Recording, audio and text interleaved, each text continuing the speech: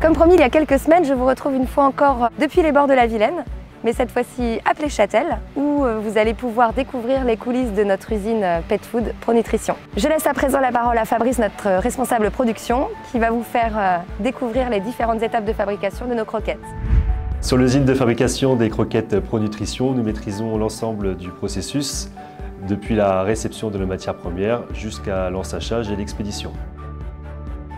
Nous travaillons essentiellement avec des matières premières euh, locales sourcées par nos équipes euh, R&D et approvisionnement. Dès réception, ces matières premières sont soumises à un strict plan de contrôle par nos équipes de réception et qualité.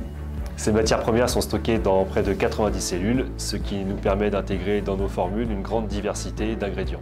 La première étape du process consiste à doser l'ensemble de ces matières premières selon les formules pour nutrition établies par nos nutritionnistes.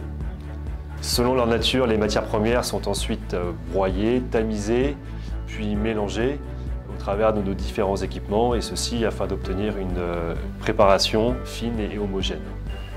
La deuxième étape consiste à cuire cette préparation par un procédé d'extrusion.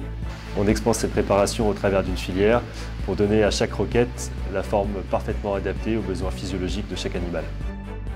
L'étape suivante d'enrobage est essentielle et vise à apporter aux croquettes une très haute appétence afin de garantir un maximum de plaisir pour les repas de vos animaux. Aussitôt après la fabrication, nous disposons de trois lignes de conditionnement pour ensacher euh, les croquettes dans les différents sacs avant expédition pour un maximum de fraîcheur.